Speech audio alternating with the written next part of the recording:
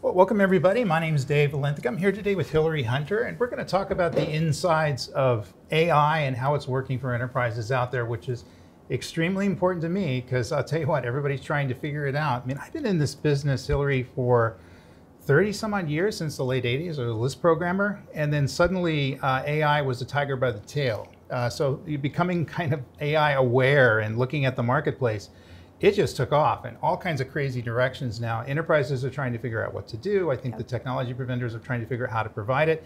And what I'm seeing now is interesting. I'm seeing kind of a stagnation as the enterprises are looking at the technology providers. The technology providers have done a lot of investment in the system. They're trying to find the right use cases for it. They're trying to figure out how to hire the people that they need to build it. Yeah. And there's just a ton of confusion. I, I just got off a call for two hours talking to CIOs who were confused about generative AI, trying to explain to them how to think about this stuff and how to leverage it as something that's going to basically bring their business to the next level. You have to remember that if we leverage AI effectively, we're able to create a unique, innovative differentiator for some of these businesses we are able to take a pharmaceutical business or a bank or, or a uh, car business to the next level by leveraging AI as something that's going to become something that provides them with a unique perspective, unique competitive advantage that their competitors don't have. And that's what's at stake here, which is very different than the movement to cloud, the movement to service-oriented architecture, you know, all these things had in the past. So what are you guys experiencing here? I'd love to get your input.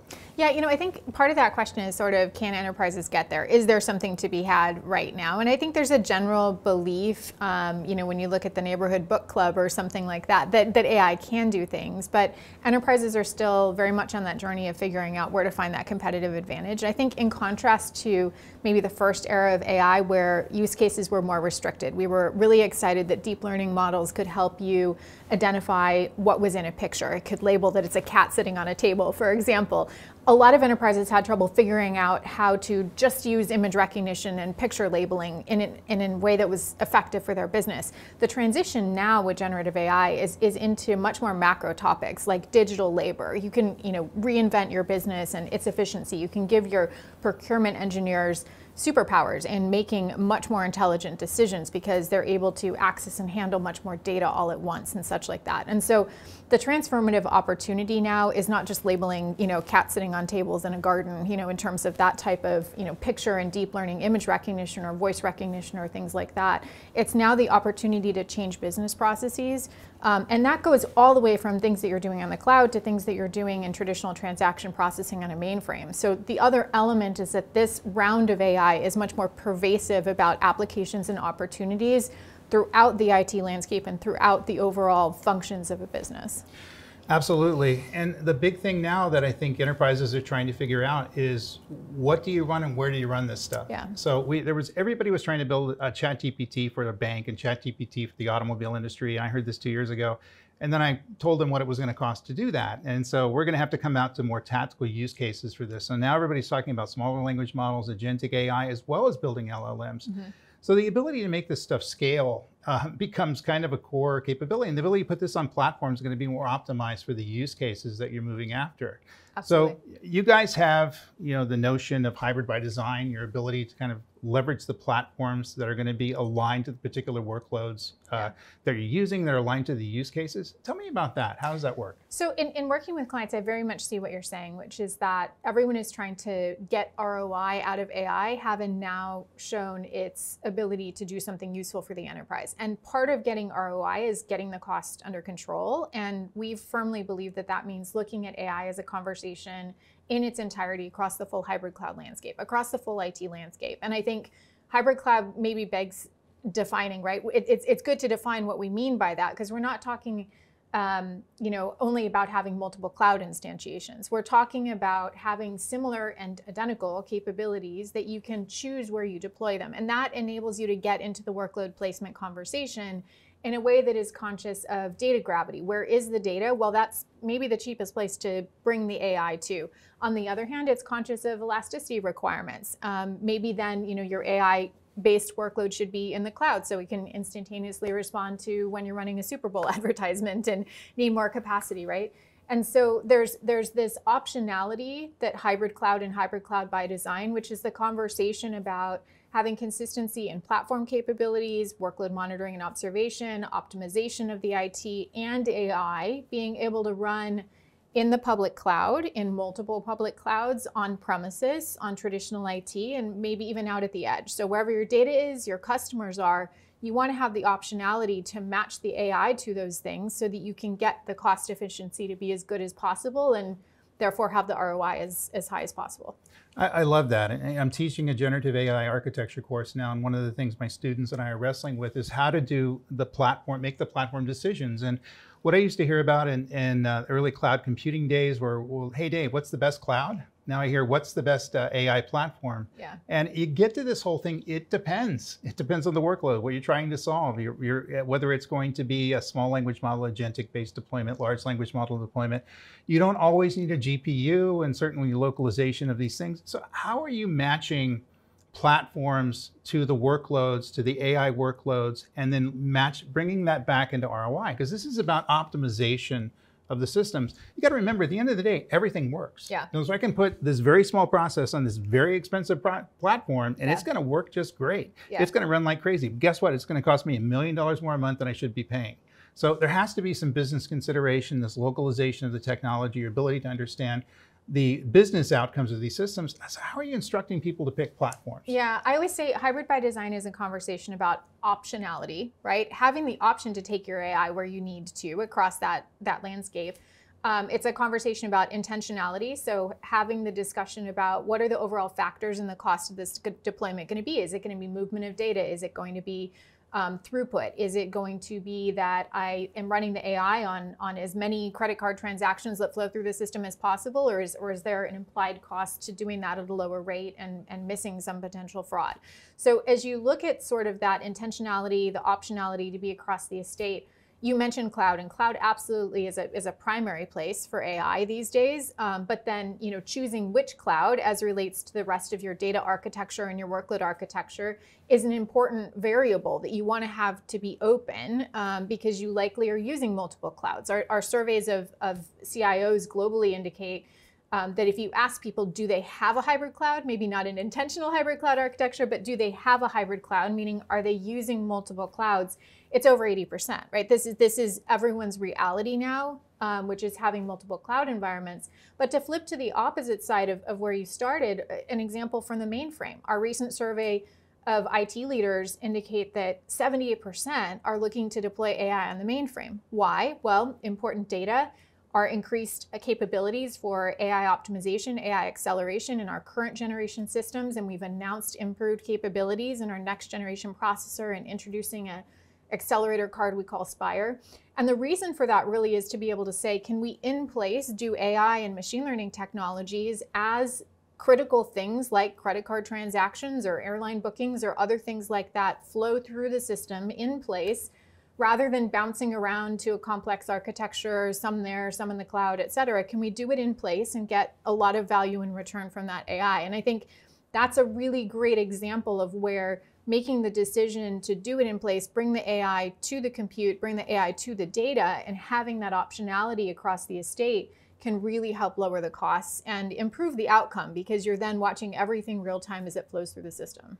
Yeah, it's it's funny. I made a case for uh, leveraging the mainframe for AI-based systems, and people came up after they they, they, they go that we thought that was legal, and I said no, it's legal, and you can do it, and it, it makes a it has a great opportunity for doing that because of the ability to bring the power you already have in your organization and match it to the workload models. And in some cases, that's going to be the most optimized way to do that. And you get yeah. to that discussion, that's a different level of play than everybody trying to throw, you know, the new hyped platforms at the system versus leverage yeah. what you got. Because uh, well, it's already invested. And, and, it's not just mainframe, right? I mean, we're, we're, working with a hospital in Asia Pacific, and they have a bunch of different data sets related to patient diagnostics on a power system. And then by integrating the speech to text work, um, the image recognition work, and the different elements of their overall workflow around diagnostics using the On Power 10 AI accelerator, they've been able to go from a three day to a one day workflow, which as a patient concretely means getting my diagnosis in a day rather than waiting half the week or more, right?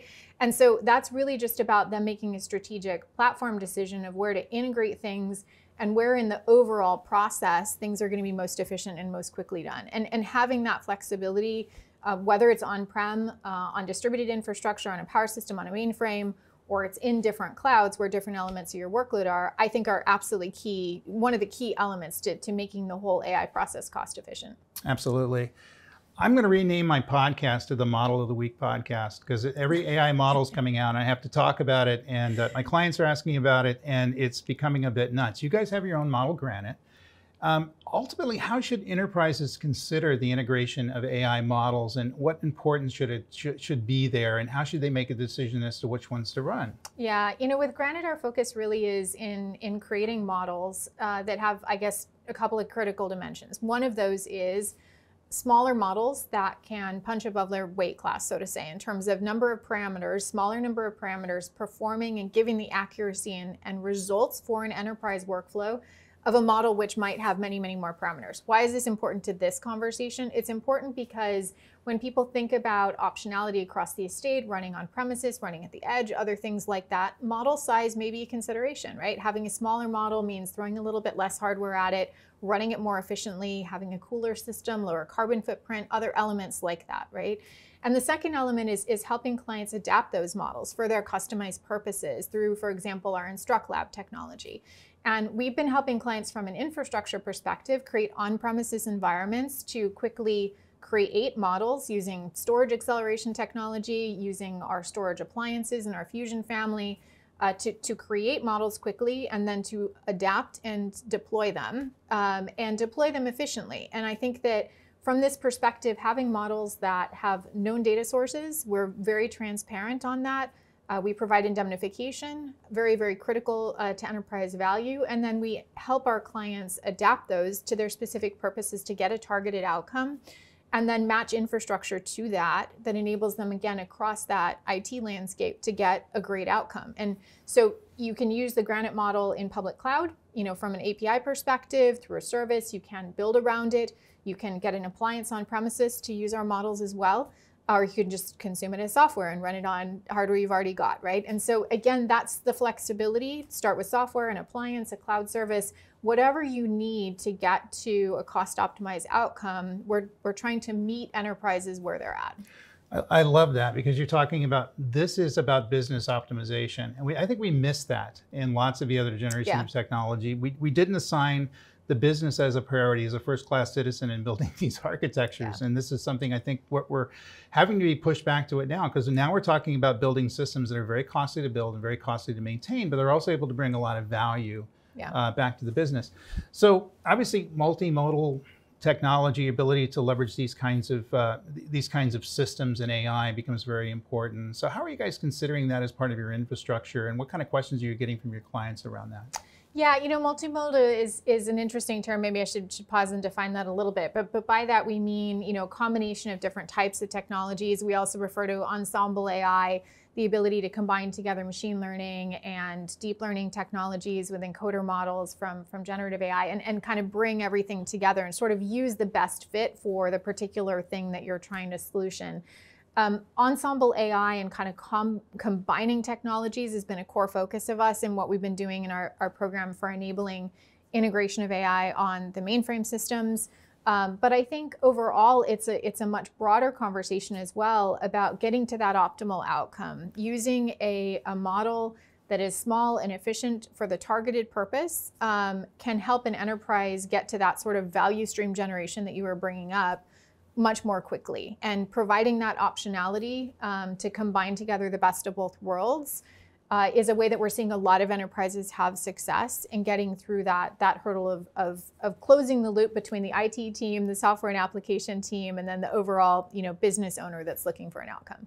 So, what advice would you give to the, I would say, rank and file CIO, the person out there that's making their business work, the person that, you know, CIO can be a very tough position in many of these organizations that are looking at AI and considering all the options out yeah. there. What are what are the things they should be considering now that are most important to you? Yeah, I mean, it, you you threw out a couple of the words earlier that I love to gravitate to. Platform. I think there's a very significant platform conversation going on right now um, that has to do with optionality and, and ensuring that you have the ability to both oversee and optimize and manage and govern costs in a consistent way on this topic across different environments. I think there's a very significant optimization conversation. That means also workload optimization of your GPU farms that are handling your model build and deployment.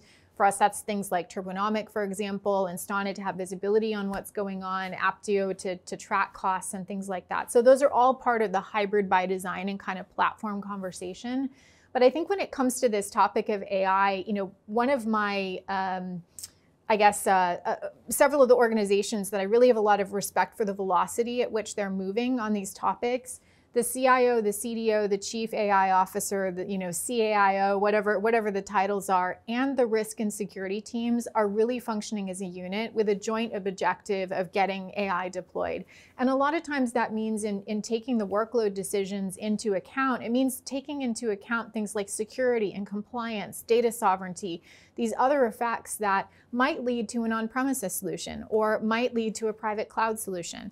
Um, those conversations all happening in the open, I find, you know, and, and being solved as sort of a, a multi-factor consideration can lead organizations to a workload selection, you know, in terms of the deployment location, like we were talking about earlier, um, that enables you to get to a yes for moving from POC to production AI. And I think that's really what we are hoping to help bring together is that when those communities, the CIO, CTO, CAIO, chief risk officer, chief security officer, et cetera, when they all have different and uh, seemingly competing, uh, you know, uh, things that they're trying to solve in getting something deployed, we want to offer again that optionality across the hybrid cloud landscape, so that things like risk, security, compliance, et cetera, can all be a yes as well, um, and can help projects move to production as quickly as possible. That's great. And you're in the center of the universe at all, sitting here at IBM. Just I feel the innovation occurring around me.